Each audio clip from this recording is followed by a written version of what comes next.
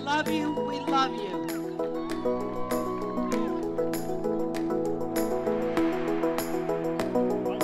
You know, it's really cool to see this many Panther fans out here today. Yeah. The irony of all this is something as terrible as pancreatic cancer has brought together so many people who have one thing in mind, and that's love. We're here because of the love for the people that we've lost. We're, we're here for the love of the people that are survivors, and we're here for those right now that are battling it. So just understand that there is hope, and I do believe in hope, but I believe more so in victory. So here we're here to wage victory. Let's get it going. I want to make sure everybody understands that we really do appreciate all the support we've got here over the years.